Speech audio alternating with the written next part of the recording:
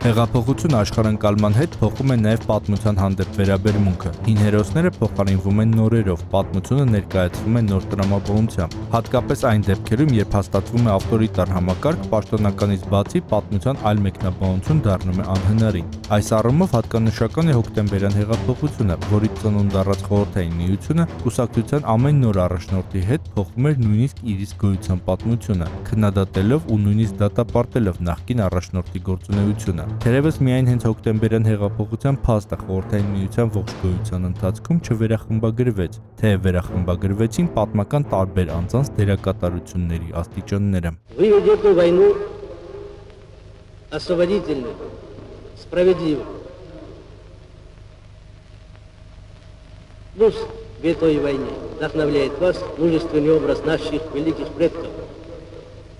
Александра Невского, Дмитрия Донского,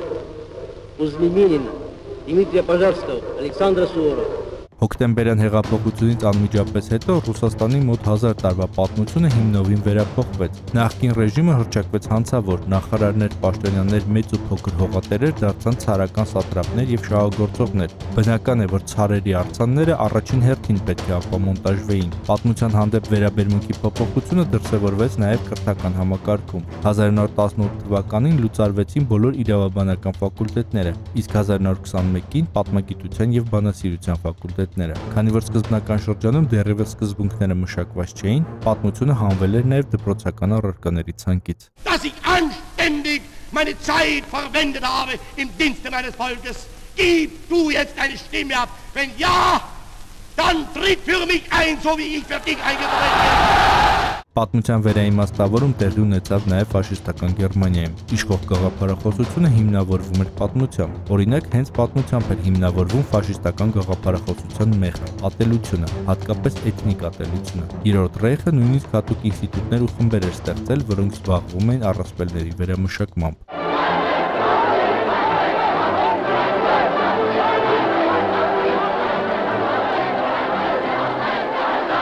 Չինաստանում տեղի ունեցած մշակութային հեղափոխությունը ի տարբերություն մնացած շարժումների ոչ թե անցյալի վերաիմաստավորման նպատակ ուներ, այլ հենց ուղղված էր անցյալի պատմության դեմ։ Հեղափոխության առաջնորդը Մաո Ցեդունը կոչ էր անում պայքարել 4 մնացուկների դեմ՝ հին գաղափարներ, հին մշակույթ, հին ավանդույթներ, հին սովորույթներ։ Ուսանողական խմբերը, որոնք ստանձնել էին մշակութային հեղափոխության առաջամարտիկի դերը, ագրեսիվ պայքար էին մղում հատկապես պատմության ու մշակույթի ուսուցիչների ու դասախոսների դեմ։ Գրադարաններ էին քանդում։ Հատկանշական Բավական է, որ այսօր էլ հակառակն է։ Չինաստանի պատմության դպրոցական դասագրքերում շատ ավելի քիչ տեղ է հատկացված ոչ միայն չինական հեղափոխությանը, այլև աշխարհի մնացած բոլոր հեղափոխություններին։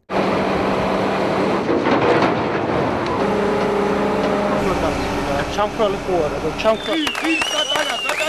Վրաստանում Վարդերի հեղափոխությունից հետո եւս սկսվեց պատմության վերաիմաստավորման գործընթաց։ Վրաստանի նախագահ Սաակաշվիլին հայտարարեց, որ ինքը չի ուզում, որ կրկնվեն Տալինում տեղի ունեցած իրադարձությունները, երբ ապամոնտաժվեց խորհրդային անհայտ զինվորին նվիրված արձանը։ Վրաստանի նախագահն ուզում էր, որ պատմության բազմակողմանի վերլուծություն արվի։ Ի վերջո 2010 թվականի օգոստոսի 23-ին Վրաստանում առաջին անգամ նշվեց տոտալիտար ռեժիմների զոհերի օրը, իսկ մինչ այդ ապա մոնտաժվեց Ստալինի արձանը Գորիում։ Ուկրաինский национально-вызвольный рух живе. Він розвивається і бореться далі